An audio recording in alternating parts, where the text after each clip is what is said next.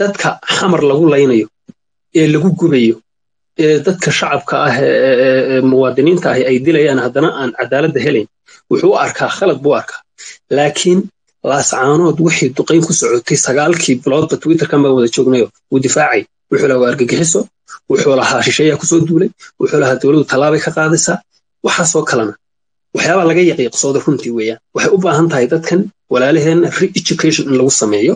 Runtiina shakhsiyaadka uu xasan cinaanshe ka midka yahay oo u baahan in la garab istaago. Waa dadka keliya farkutiriska ah ee ummaddan mustaqbalkeeda hagi kara si ay u noolaadaan. Qofkan si uu u noolaado u baahan yahay inuu maskaxda xor ka ahaado.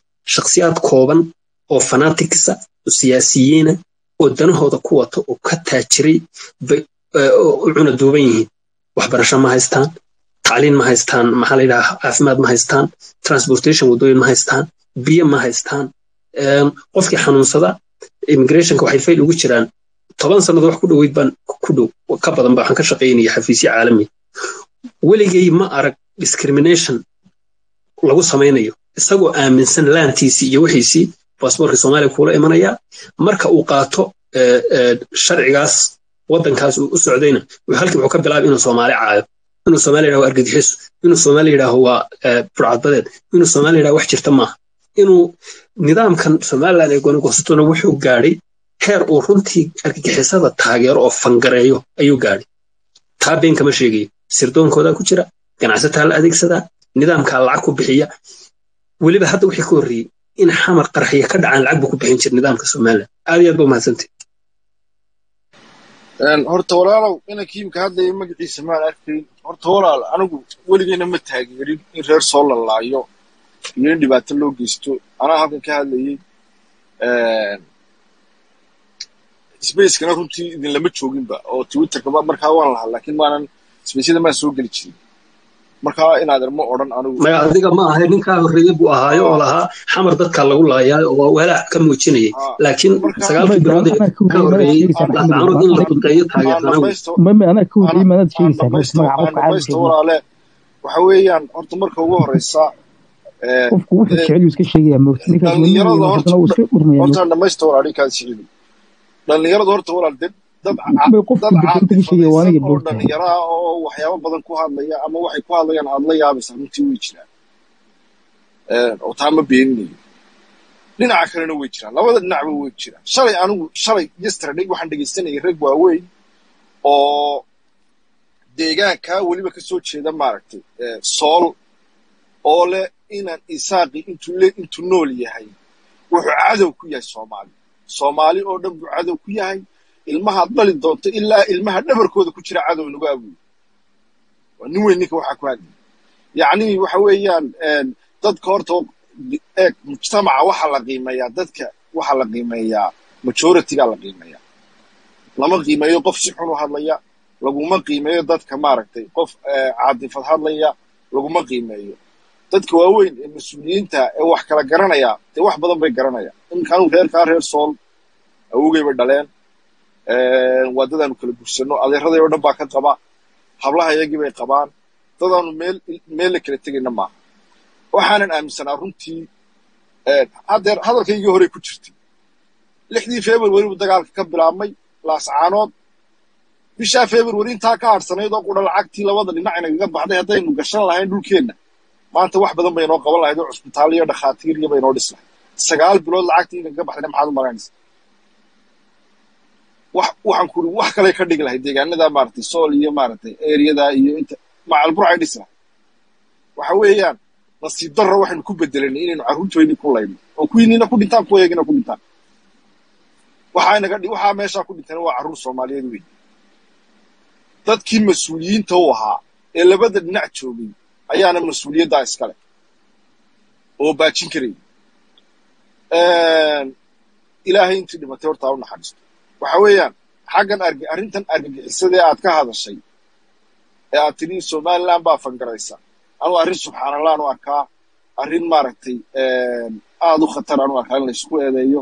Waayo qof soomaaliya oo muslima oo ashahaadanaya ina in maaragtay la dilo ama la qarxiyo waa arrin aad aad u khatara weeye in laysku eedeeyo qof lagu eedeeyo arrin arrinta noocaas oo kale ahna dee caddaynteeda haddaad hayso kolley dee waa arrin maaragtay if iyo akhiraba ilaahay ku weydiinaya taana maaragtay dee waa arrin khatara weeye haddii markaa walaal wax caddayna aanad u haynin ha ku dambaabi baan horta ku odhan lahaa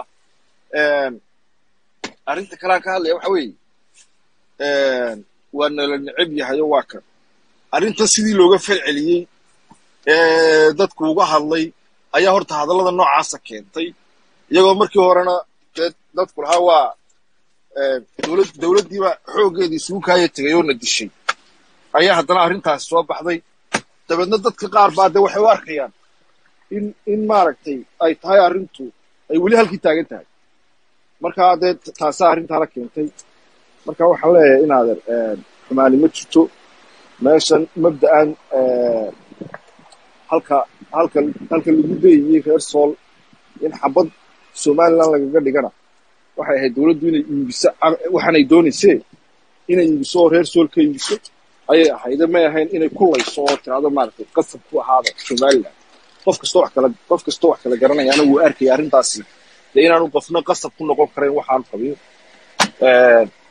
dee wixii maaragtay inay carruur iyo dad inaga dhigtay meeshaan oo garanaysa mas'uuliyaddana waxaa iska lahun dadkii markaa mas'uuliyiinta ahaa ee xilka hayay.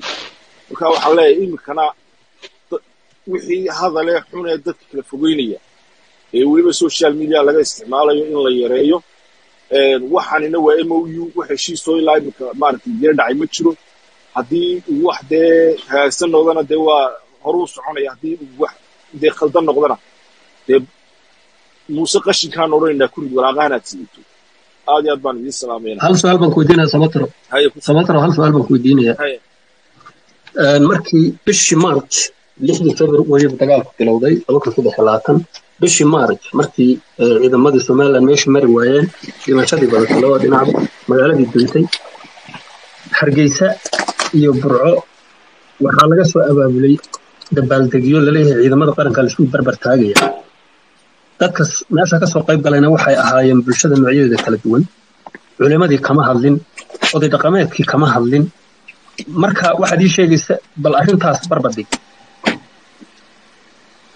walaa waxa weeyaan waa run way jirta arrintaasi maaragtay halkaa loo soo laysu soo maaragtay la yidhi ciidankaa lagu taageerayaa dee ciidankii ciidanku dad bay walaal ka dhasheen dagaal baanay ku jiraan oo iyaganaba dee waa la laynayaa marka dad dee dadkoodii dagaalamayaan oo dagaal ku jiraan oo inay dhiiri geliyaan mooyaane dee aniga waxay halkaa wax kaloo uga bannaanaa. May jirin iyagana xagga kale aad tiri lagama hadalla. Waa laga hadlay oo dad badan baa inaadan ka hadlay oo culimo leh oo codkar leh oo cid kasta leh.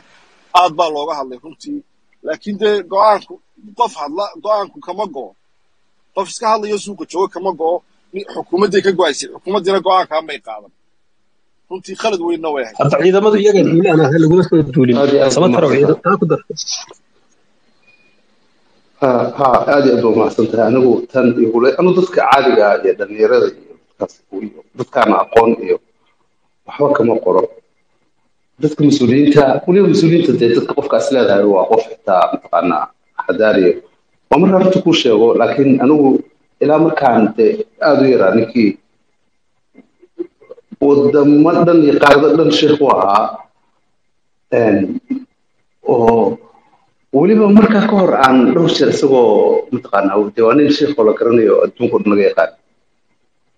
Marka markaa arkay isagoo waa yaabay aniga waxaan markasta is jiray markaan maqlaba ma ahan adigaa wareersan. Maalintii dambe waa hubsaday hadalladiisi wax kasta lama sheegi karo laakiin waxaan ka xasuustaa waa nin weyn oo da-dayo nin weliba wax weeye. Oo sheekh caalim ah. Marka waxaan ka xasuustaa intaan idin idin leyno oo madaxa idinka garaacno oo idin gumaysano oo weliba garowa tagnaan naagina idinka qaadanaa marka arrintu sheekha waxa waxa yani ka xoog batay ideologyga anugu mar ayaamahaasaan inaan ka fikra bilaabay oo eego kuma sheekha ya magaciisa sheeg sheeg waa xaafadeena ma ma rabo inaan sheego iga daa laakiin waa garanaysaa. May sheeg anuma garanay ma. Ma ma ma wax muhiima ma ahan. Waa waa garanaysaa laakiin waa muhiim ma ahan. Hadda hadda ma daawatay kan reesha maya waa nin qofkaad qofkaad u taqaanay ilaa yaraantaadii imika ma daawatay sheikh le oo dhinaciina ka soo jeedo le nimankaas waa yuhuud bay ka soo jeedaan ma daawatay cidna hadda wixii ku hadla xitaa kama dhegeysanay sheekh maya numa simbalde waa kaasoo kale maxaa kaa weyn marka maya waxaan ka hadlayaa waxa ka hadlays waxa ka mugtahay ilaa markaad yarayd ilaa nin weyn baan anu adiga wax badan baan kaa weynahay Nin- ninka sheekh ku ahaa oo xitaa markuu culimmada kale ay sula tegi jirtay waa waxaan caadi ahayn weeye. Laakiin ma ayaan dambe oo intaas ka sheekaysanay waa xusuusiyey waa waa yani magacaygu uma sheegin laakiin waxaa idhi xirtaadii baan somehow ka mid ahaa imika baan daawanayay oo dee dabcan dhinaciinaasu ka soo jeedaa. Wuxuu leeyahay waa shiikh masaajid Ko- koonfurta soo maahan ya. Koonfurta?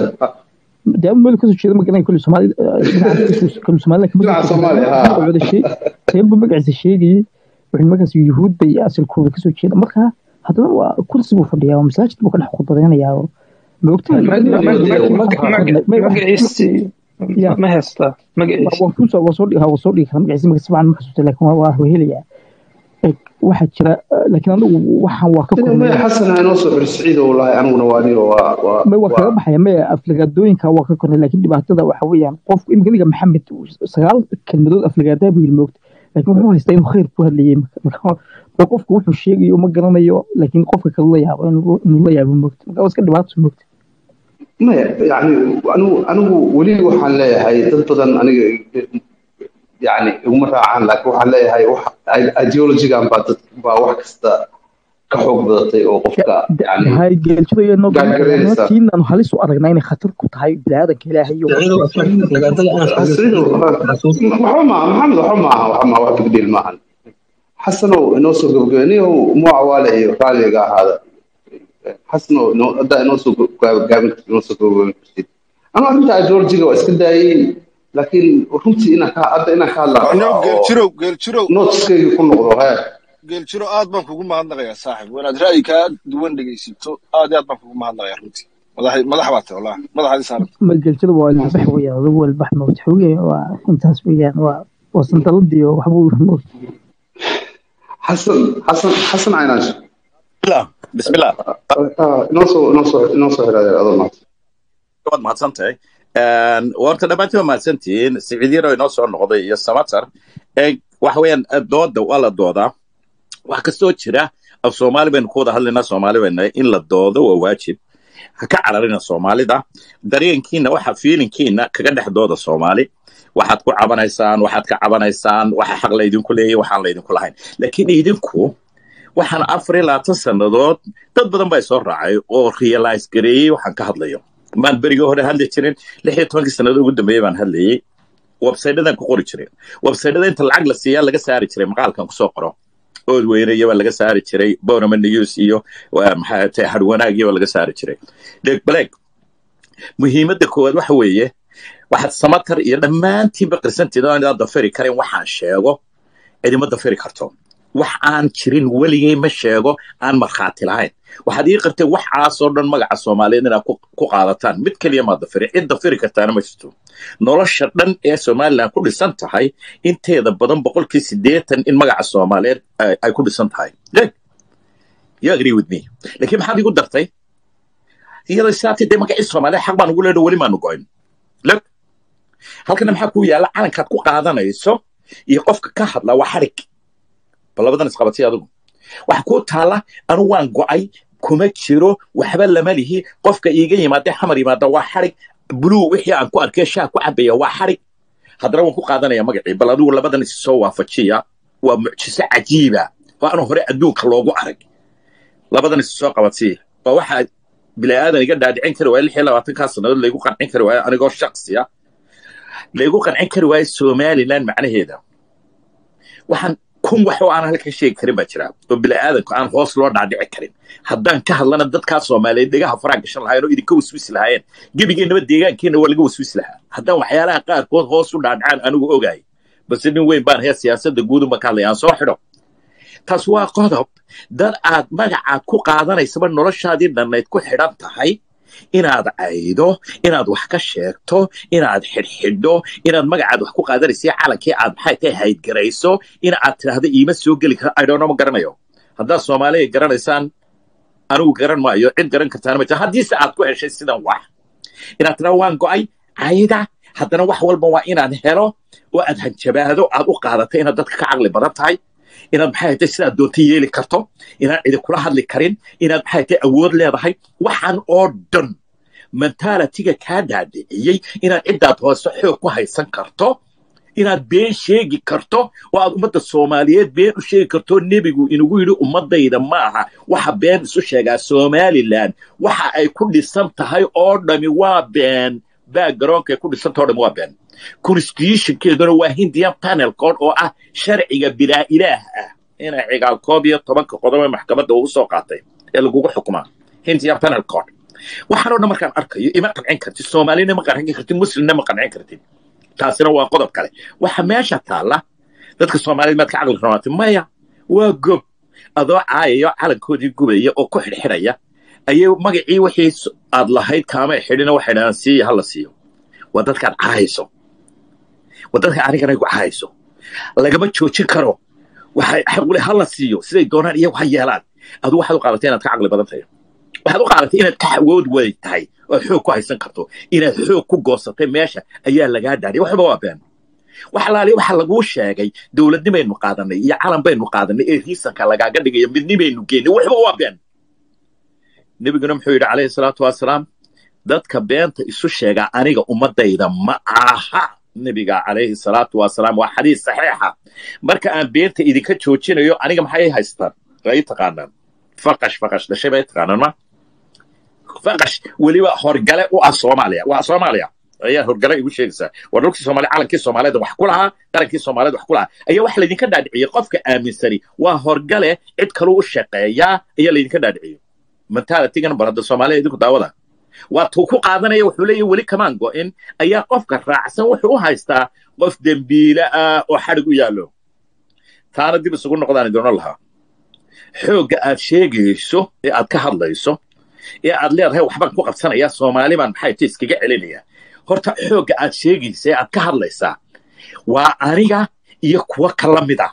Oo adiga kaa soo horjeeda maanta hadday dhacdo xabaddu oo etoobiyaan iyo oromo aad soo raacdo hargeysa dhexdeeday ka qarxaysaa burcay ka qarxaysaa ergaaday ka qarxaysaa. Iska daa gobollada kaleba ee sanamta dhexdeedii bay ka qarxaysaa oo iyagu dagaalamaya. Sidii shalay ninety four ay u dagaalameen ilaa ninety seven u dagaalamayeen ee guryaha boqolkiiba sagaashan iska burburiyeen. Ka soo noqo dadka soomaalida waxaan idin leeyahay baleg waxay mar kasta waxa aan diiday ee laygu kari la'yahay ee aniga iyo qaar ila midoo siyaasiyiintii ugu waaweyneyd ee deegaankan u dhashay la marsiin la'yahay mentalitiga shakhsiyaadka haysta ee mentalka ah ee iyagana mentalnimadaa qaadsiiyey ee kule waa lana necab yahay. Weligay maan maqal. Gabadh lala guursaday oo marka odayaashu u tagaan tidhaahdaa wuu inacay ninkani taasu ayuu iila guursaday dadnimo dad sheeganaya oo raga ah oo bili'aadan ilaahay abuurto dadka soomaaliyeed la mid ah oo kule nin soomaaliyeed bay necab hadda waa ka noloshoo dhammina u soo marto wuu og yahay. Yani waxa weyan waa turufo waa khiyaamooyinka waxa weyan manipulationka dadka soomaaliyeed aa ku haysaan bay noocantay lakiin maanta way fahmayaan wax gilti waxaad dareentaan maxay tahay in laydin laayey xaggana waad ka leenaysaa adaa laynaya wax xidhxidhaya oo laynaya carruur madaxa ka tooganaya. Xaggana waxaad ka matelaysaa waa lay wallahi siyaad baraana laayey labadii nin ee laayay gobollada dhexe ee beryaha baraagaa ka sumeeyey ee hablaha aan garanayo markaan hamar maray waa dayib guri iyo dhega weyne. Miyaad maqashay weli majeerteen le dembi bay naga galeen oo daba socda. No soomaalidu way islaysaa way dhimataa way halkaasay kaga gutaa waa gobonnimada ay dadku lahaayeen. Soddon iyo saddex sannadood baad jawaana xambaarsan tahay waa lay dilay waa ninkaagii intuu dagaalamay askartii laayey ee dowladdii wax ka qalibay ee dowladdii ay ka shubtay ayaan yani sida dumar kale idinkoo raga waa waxyaalaha aanan xamili karin ee aan iga dhaadhici karin. Waa lay dilo lafa intaad xabaalo qodoto lafa jawaana ku soo guranaysaa mayd iyaad noocaad kaga ciyaaraysaa? Burcaan ku dhasho waan ka wiswisaa. Markaan arko dadkii dhulkan deganaa oo noocana yaa wiswiska naqaadsiiyey waa lay dilay waa lay waa laykan kuwii shalay barkada aad ku duminaysay ee aan ogaa sidii loo galay ee toddobada magaalo laga gubay waa dayib guray oo mujaahida aad u taqaano iyo dhega weyno maanta mujaahid aad u taqaano weli mid maqashay? Ma jirteenoo waxaan bay nagu samaynaha naloo soo qabto maxkamada iyo adduunka eryanay maad aragtay? Iyagoo ka cabanayo waa nalalaayay maad aragtay waa raganimada noocan iyo dhaqankii soomaaliyeed aan ku soo koray aabbahay ka yimi. Ayaa sidan dadkan haystaa. Haddaanay oromo ahayn oo aanan ku odhanin war ma tihid soomaali anigana ima tihid soomaalina ma tihid. Miyaad ila yaabaysa qodobkaana qoro. Wax ka soo dood maalinta dambe aynu soo adoo ageeniska ah waxan.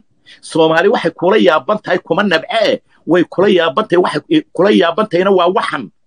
Aanay dhaqan ahaan u garanaynin ee raganimo ahaan u garanaynin ee dadnimo u garanayninay kugu arkeen ayay kugula yaabayina kuma naco waa kuwa wax walba kuu soo daynaya cayda siyaasi weli koonfureeda oo wax caayaya miyaad aragtay?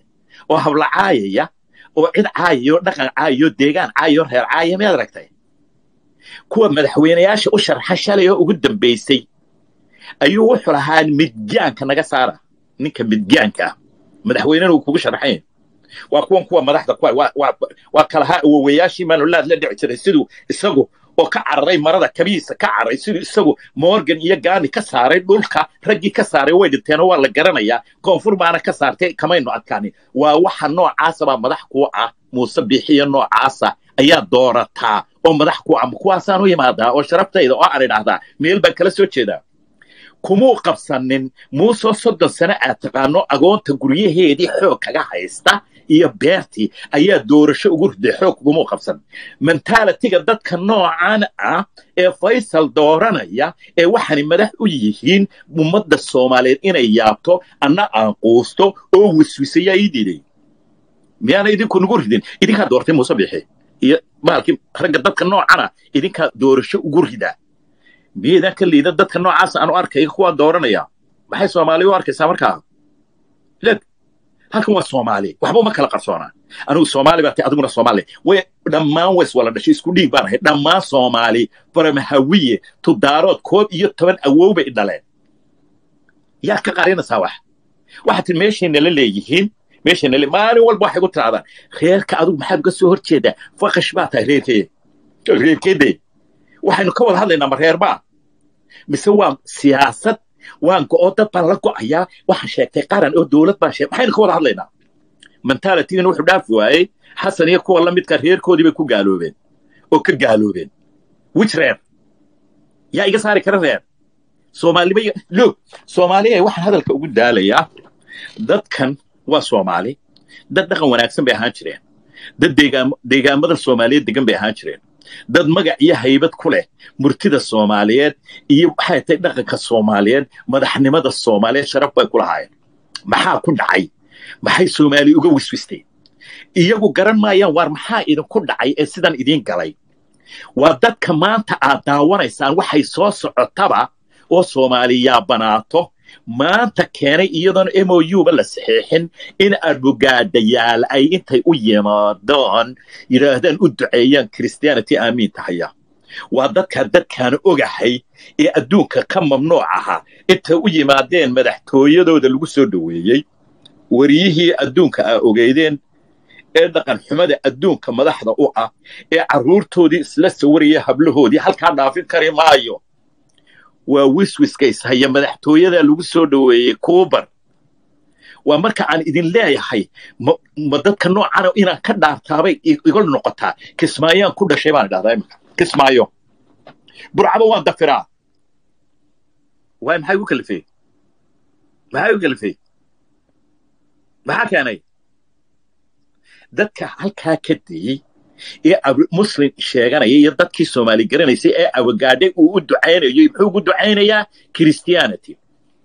Kay doorteen green marada greenka ambiyaha marka loo geliyo way wala daawanayaan. Cidila hadli mayso ee mara cad la saaro ee madaxa gacanta laga saaro waa orthodox. Macnaheeda ma garanaysaan? Waan madaxdoodii? Cidlama hadli karto. Iyagaana doorto doorasho ugu riday. Mentalitiga noocaasu markaa waa maxay? Bal dib isugu fiirsada soomaali waxba ma kala qarsoonaa haddaa haystaan waxaad idiin qarsoonaya aniguna wax qarinayo waxba ma qarsoono soomaali waxba uma kala qarsoon way iswala dhashay. Waa ilmaati iyo abti iyo hooye habar wadaag bay isu walatay gebigeeduba yaad wax ka qarsataan. Miidiyadaa la timaadaan miyaa wax qaraysaan? Oromaanu nahay miidiyadaa la timaadeen maydi qarin? Amxaaradaanu soomaali ka jecelayo oromada madaxdiinna aad doorateena doorashada ugu rideen baa tv-ga la yimaada muuse biixi ina kaahin ina caliwaraabe ina waran cadde dhammaantood inta idiin madaxdaabaa tv ka yimaad halkan ku hayaa iyaga oo leh amxaaradaa nooga dhow oo naga xigta soomaali waayo isaguna waa soomaali yuu leeyahy walaalaanay amxaaro maxaa soomaali ula yaabaysa markaa way soomaali ula yaabantihiin maanta aan kaga baxo isku soo dhoweeyo geerjirigu ku raagee baleeg intaasoo wax oo adyada oo kibira oo beena oo cuqubaa oo xaqdarra abad soomaali uma timaadeen. Intaba waa idinku dulqaateen iyo aniguba aan ku jiro soomaali. Milyan waxbaa anigaygaas halka shaqsii aan ku dulqaatay deg why?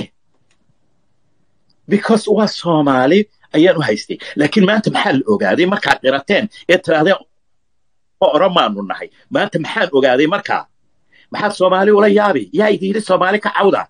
Sidayday u shoogsan yihiin wax ku mudaharaaday ma jiro wax la dagaalamay ma jiro dhaqaala madaxtooyadiinaa ku soo dhowayseen dowladdiinni baa soo dhowaysay madax dhaqameedkiinni baa soo dhoweeyey oo weliba sidan sheegay.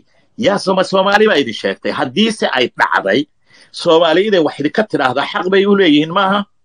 Dadka waxay u haysteen walaalahooda soomaaliyeed ee asxaanta ugu samaynayeen dhaqaalaha ugu soo deynayeen maxayse maanta arkeen inay oromo yihiin dee waa oromo dee wax ka mudaharaaday maad arkaysi burco iyo hargeysa oo laga saaray ama maxkamad la soo taago la soo qabtay ama aad ku qasabteen in loo qabto maya hablihiinaabu ka caayay inan reer burcaa bay ahayd inantu ka caayay ee uu nasabadeeda lahayd ma taqaanid nasabayad ma lihid adigu aabbaha iyo awoogaana nasabeed kumay barin nasabna ma tihid waxaad sheeganaysay ma tihid ee oromaa tahay ayaa dhex fadhideen idinkoo kumanaana waa inan waa inan taasi soomaalidu daawanaysa tv gar ka soo deyseen what kind of human are you? What kind of somali are you? Maxaad soomaalida maxaad ula yaabantihiin anoo burca ka imi baa shoogsan oo wiswis ihayaa waxaa samaynaysaan oo weliba anigii ila yaabantihiin iyo soomaali la yaabantihiin dadka soomaalida waan idin salaamaya waxaan uga jeednaa haddaa idinku private u haysataan soomaali dhexdeeda private u haysataan oo laan wax la ydhahdo u haysataan. Anigoo reer burca iyo kumanaan madaxdiinni iyo mutacalimiintiinni iyo siyaasiyiintiinni oo intaasoo magacloo xamar joogoo debadda joogoo guda jooga ayaa waxaan aaminsaneen oo idinla yaaban oo quustay dadkan ku nooli ma aha soomaali qaab fekerkii soomaaliyeedna ma leh. Waxa madaxa idinka haystaana waa oromo iyo amxaaro idinku milantay. Wayan sidaa u leehay yaa nooga digay maanigaa sheegay oo meel idinkaga dhacayo idin caayo mise soomaaliya idin caaysa maya cabdi iidaan faarax baa nooga digay. Gabay buu tiriyey cabdi iidaan faarax. Bal eeg waxa yidhi cabdi iidaan faarax waa abwaankii weynaa aad garanayso waad ammaantaa cabdi iidaan faarax wuxuu noo sheegay oromada ina soo gashay iyo reeraha qarameeye ee ay ku jiraan magacyadooda dhan buu noo sheegay gabay waanuu nooga digay.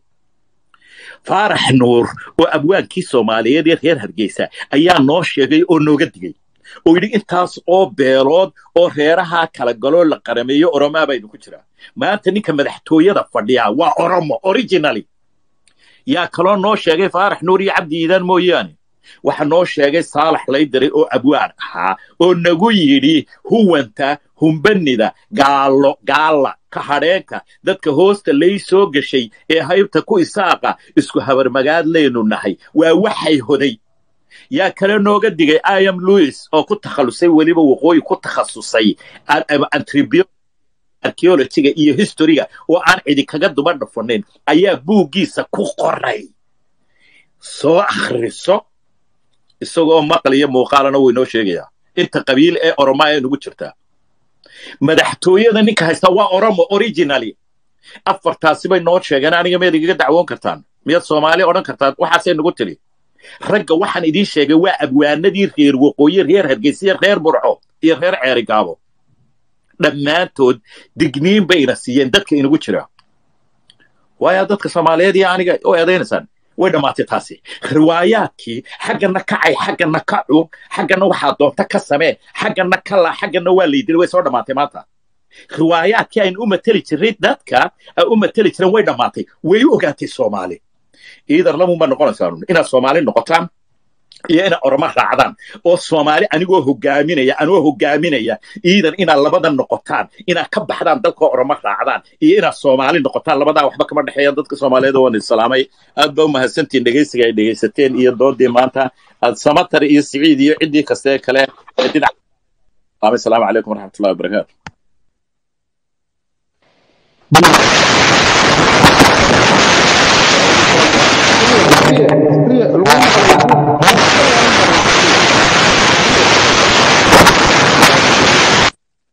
askariya laguma maqlayo buuq baa keliya weye nin raalli ahaa iga ahaada.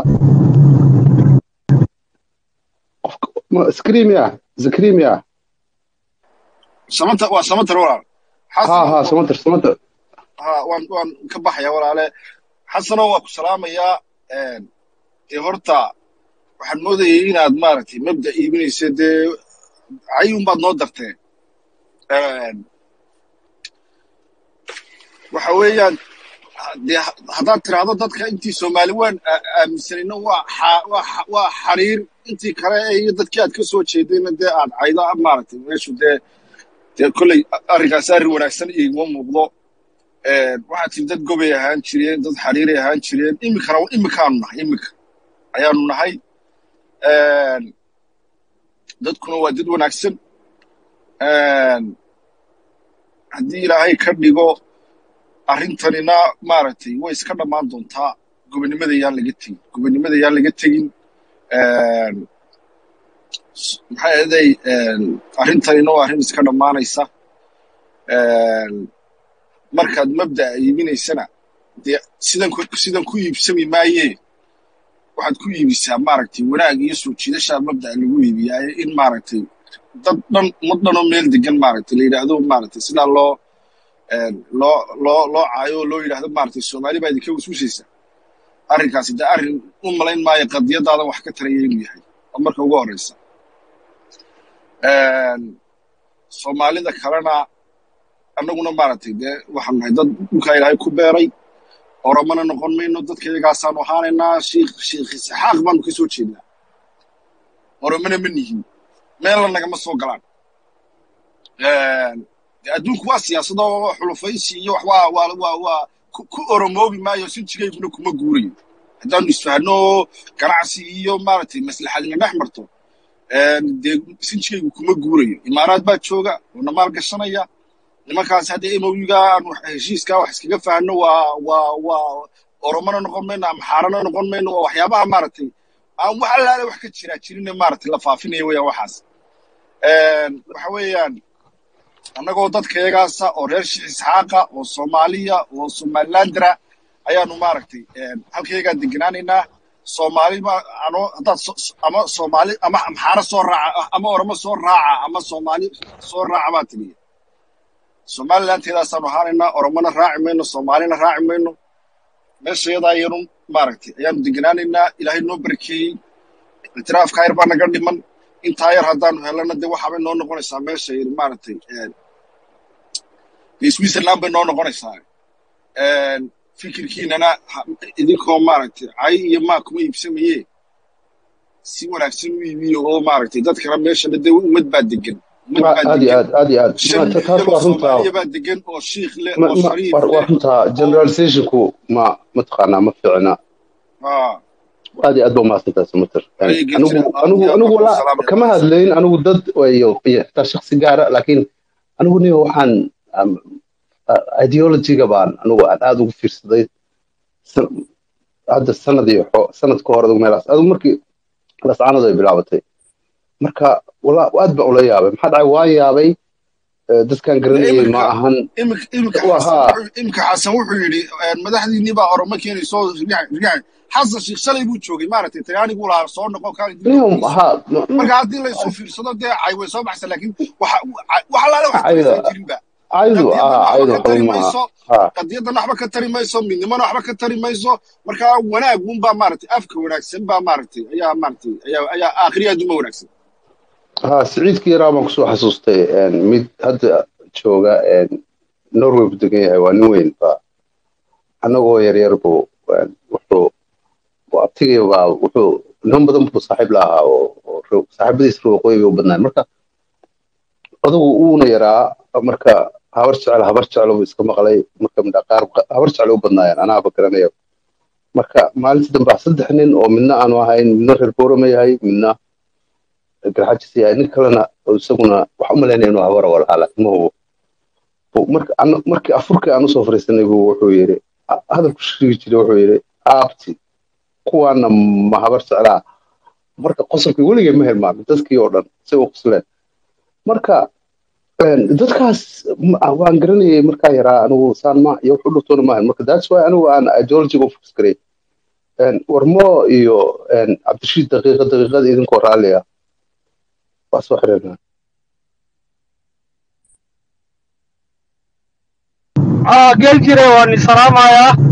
I have been driving for the last three, four hours, and I want to take this little opportunity to say thank you, thank you, Hassan Aynan Shemialeda.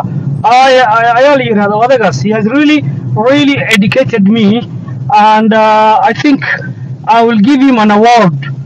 Uh, Gail no one seen, uh. Geelna waan ugu ma garatay marka waa nin aad iyo aad maaragtay qadiyadda soomaalinimada ku weyn and uh, actually he's doing a, a tremendous job in trying to educate re-educate rehabilitate and re- and change you know the mindset of 32 years of appeasement 32 years of indoctrination 32 years of appeasement. You know well, if this thing, if this MOU really becomes a reality, then it is the end of Hargeisa, it is the end of Berbera, it is the end of Djibouti, and it is the end of, you know, northern Somalia.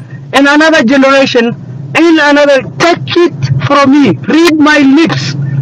In another generation, our brothers, the noble brothers of Isaac, Shaksak, will be enslaved they will be enslaved. Their land will be overwhelmed by Oromo refugees who will take over that area. So thank you so much, Ainansha, for educating us and the people of uh, you know Somaliland. I think it's an opportunity we don't have to lose. We have to acknowledge. We have to respect. We have to, you know, that uh, Ainansha is doing a great job, and I wish he puts space in every space, in every forum, in every conference in every gathering of Somali people so that he's an asset. He's a dictionary moving. Why will anybody, you know, disown him? Why will anybody discredit him? Unless, unless, and I'm crying, I'm driving, I'm alone, I'm driving for 400 kilometers from Raskas, uh.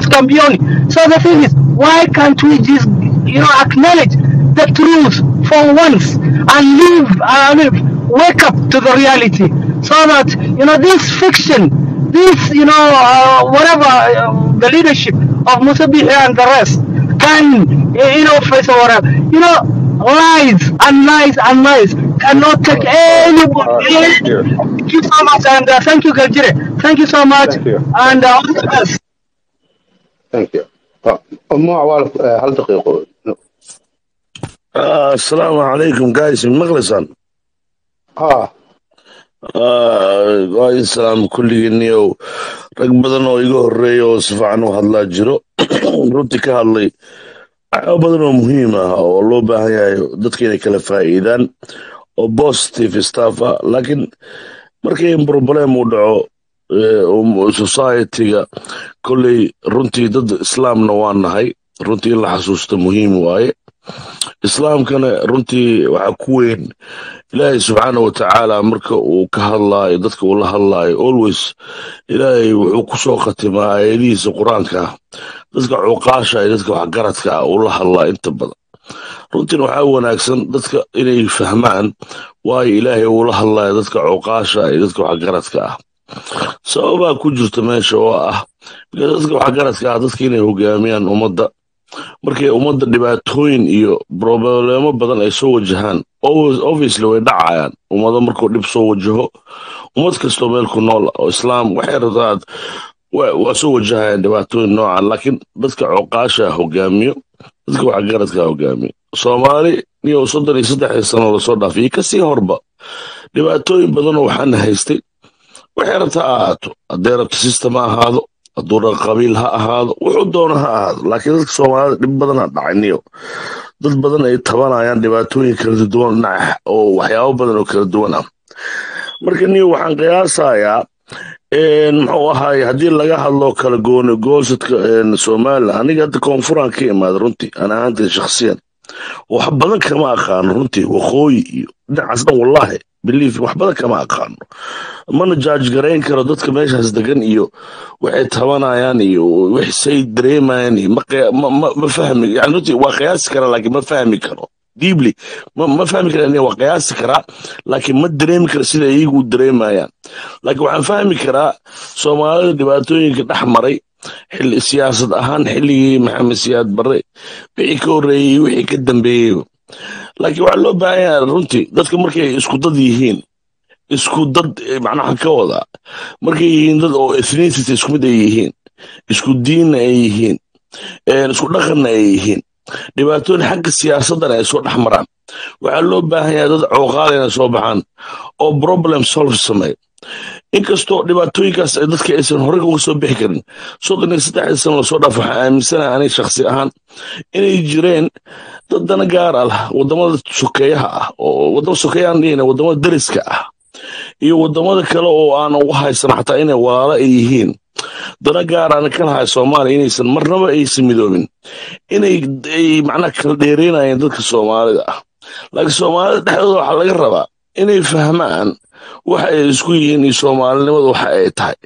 Iyo mustaqbalka dambe jiilka imaan doono waxa dadka ay u reebi karaan. Bikaas sababtoo ah annaga shalay ma nooleen. Dadaa meeshaan ku noolaa.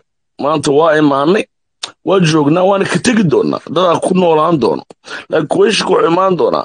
Maxaa uga tegi doonaa dadka meeshaan ku imaan doona maxaa uga tegi doonaa in saacayno oo iska hor imaano oo isxumeyno haddii macnaha qof oo liito oo fikir liito oo wato ma inaa annaga noocaas ku wada dhaqanaa mise waa inaan qaadano fikir oo mujtamaca horumari kari kara oo dadka wanaagsan ay keeni karaan? Markaan waxay ila tahay rag badanaa meeshaan ka hadlo wallaahi runtii aada ugu farxay. Believe me. Yani runtii ani kama qayb galo bisbaysyada inta badan ma dhex galo. Hadalka inaan ku dheeraada ma rabo. Rag badan waxaa jiro belief aan ka helay. Waana one of the space aan aan ka helay. Oo rag badan inta waxa fiican si fiican uga hadlay. Oo ka sheekeeyey soomaalinimadii waxa ay tahay. Laakiin waxaan rabaa inaan ku kordhiyo fikirkeyga.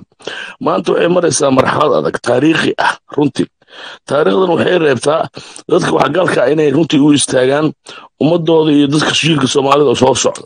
Marka niyo ragga waxay u baahan tahay arrinka noocan oo kale in looga hadlo si diibli ah go'aanka goosashada somalilan iyo wixii ku saabsan runtii waxaa keenay wax iyaga dareenkooda ku saabsan oo soomaalida kale ay ka dareemeen.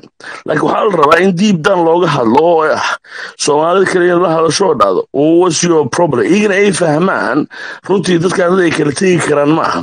Ninkan hadda waddanka soo fargeliyo amxaarka ah amxaar aan dhihin oromada oo ka yimid muxuu ahay ethiopia ka all is taken advantage dadkan kala qaybsanaanshahooda iyo tafaraaqo dhexdooda ka jiro bikaas kulligooda fahmi karnaa inuu soo dhoweeyo kuwan oo advantage uu ka qaato. Laakiin macnaheeda ma aha inay qaar u fahmaan inay iyaga u tahay dan gooni ah oo horumar ay ku gaari karaan. Bikaas dee u arkaan inay horumar ku gaari karaan. Realityga wuxuu tusayaa futureka dambe mustaqbalka dambe jiilka imaan doono inay ciil ku noolaadaan. Bikaas sababtoo ah today waxa dhacayo consequencegeeda tomorrow soo baxaya. We we know obviously all of that. Marka anago inaa wax ku dheeraado ma rabo wacyigelinteeda waxay ku kooban tahay oo keliya in tartiib loo hadlo oo hadalka hoos loo dhigo. Because sababtoo ah waaqica wuxuu sheegayaa annaga markay ay timaado dhibaato sax ah casabiyadda iyo emotion wax badan macno ma sameynayo all waxa macno sameynayo in qof walba oo bini aadan ah oo annaga naga mid ah inuu hadalka hoos intuu tiri macno badan uu dhegeysto maxaa imaan kara tomorrow. Marka rigo hadalka waa ka baxay. Waana mahadsantihiin aadan ugu faraxsanahay. Caawa wax meeshaan ka dhaca rag badan oo aniga caqli badan. Wala caqli gooni waay laakiin rag badan waxaa jira soomaali oo caawa inta fiican uga hadlo aan ka helay. Magacooda inaan sheega mar laakiin I really appreciate it. Marka guys have a good night. Have a good day man. Waa ka bax dalkay magac waale aad iyo aad baa mahadsan tahay inaan soo xiro weeye haa walaal thirty second baan ku soo koobaya waxaan idin sheegayaa maaragtay soomaalida halkan iga dhegaysanaysa horta aad baan idin salaamayaa. Ilaahayna khayr iyo wanaag baan dhammaantiin idinka rajaynayaa maalin wanaagsan iyo habeen wanaagsan kiinay u tahayba. Een, waxaan ii sheegayaa horta heshiiskan iminka hordhacaa dad badan oo maaragtay walwal ka qaba oo dhulkiini baa la qaadanayaa dhulkiini baa la iibinayaa ayaan halkan ka arkay ama meelo badan ka arkay. Annagu dhulkayaga in la qaato iyo inaanu maaragtay sidaa falastiin aanu iyada oo aan cidina qasbaynin aanu isu dhiibno horta wax dhacaya maaha wax suuro gelayana maaha. Taa annagaan ogolaanaynin taa ku biyacaba marka ugu horeysa waxa weeye inaanu annagu dhulkayaga u bixinno oo baddayada u bixinno oo ilmahayga ama ilmaha uu dhalay sida falastiin dhagaxa tuuro. Wax nagu kaliifaya oo maanta jira ma jiro. Inaanu sida maaragtay dadka maaragtay propagandada faafinaya ee le nacayb bay soomaali u qabaanaa aanay wax allaale wax ka jiraa jirin. Annagu nacaybaanu soomaali u qabno dee gumaysiisu hoos geyn mayno oo nacayb intaa leeg oo aanu intaanu soomaali nacayb aanu uga yaacno oo maaragtay aanu xabashi dee maaragtay dhulkayaga u siino inaad adeertaas wax caqliga ka weyn waa wax loojiga ka weyn waa wax maaragtay aanaan sinaba u aqbalaynin Een, dhulkayaga annaga idinka jecel inuu amni ahdo annaga idinka jecel inuu xor ahaado annaga idinka jecel. In ubadkayga ubadkiisu uu xorriyad ugu noolaado isagoo dhulkiisi jooga annaga idinka jecel marka waxa weeyaan taa ka walwelina heshiiskaasi hadduu heshii iyagu etoobiyaanku tooday eeganayaan interestigooday eeganayaan inay badsadaan bay isku dayayaan. Annaguna sidoo kale interestigaygaanu eegaynaa inaanu badsanaan isku dayaynaa haddii markaa ay noo suurto gasho oo maaragtay aanu ka badsan karno oo halkaa wax macnal inooga soo bax asaawo idinku jiraana dee waanu socodsiinaynaa. Haddii aanu halkaa wax macnal inoogu jirinna waraaqaha muuse biix jeeb ku sita waxaanu leenahay adeer jexjexoo maaragtay musqushaada ku rid marka waxaan leeyahay hadalka xuni wuxuunbuu kala fogeeyaa waxba ma hagaajiyo. Dadkana hadalka wanaagsan baa daawo ah. Hadalka wanaagsan baa wax mideeya. Haddaad midnimo doonayso oo dalka soomaaliya oo mida doonayso hadalkaaga ha laga arko ficilkaaga ha laga arko walaaltinimo ha laga arko. Laakiin in nacayb iyo maaragtay ciidan ha la geliyey iyo dadkani waa dad maaragtay jaal xun oo yuhuud bay ka soo jeedaan. Hala tirtiro taasi waxba kaa waxba meel la idinka tari mayso marka waxaan leenahay meeshan annagaan yeelaynin in dhulkayaga maaragtay aan gumaysi hoos geyno Eh, dad maaragtay aad iyo aad baan idiin salaamayaa waana sharfantihin aad iyo aadna kugu mahadcelinaya geejiyosaa aad iyo aad baa umahadsan tahay dhammaantiin aad iyo aad baa umahadsantihiin ilaahay dembigeena ha dhaafo geeljirow kelmaddaa dhaho in adeer waa mahadsan tahay in muddahana waa ku jirtay. Ma dheeraynayo waan soo yara daahay waxa keliya aan odhan karaa waxay tahay. Horta sideedaba tabasho iyo cabasho waa jirtaa. Meelo badan gobollada soomaaliya ka mid ah baa jirto. Xasuuqo badan wuu dhacay. Hargeysa ha ka dhaco. Gaalkacyo iyo nugaal ha ka dhaco. Haddeer wuxuu ka socdaa jubbaland displacement mataqaanaa iyo iyo ugaarsi iyo meelo badan bay ka dhaceen magarata dalalka soomaaliya. Laakiin somaliland waxay kaga duwan tahay. Dad baa waxay ka faa'iidaysteen duruufta xilligaa jirtay. Ayay ka faa'iidaysteen markaasay ku orkacsadeen dadkii meesha jiray ayagoo dan gaar ah ka leh. Shacabkaas waa shacab nadiifa waa dad nadiif ah tabashay qabaan laakiin siyaasadooda dantooda gaarka ah uga faa'iidaystay. Haddana dhiiqay lugaha u geliyeen soomaaliya iyo dalkeenna iyo dhulkeenna iyo baddeenna dhiiqay lugaha noo geliyeen.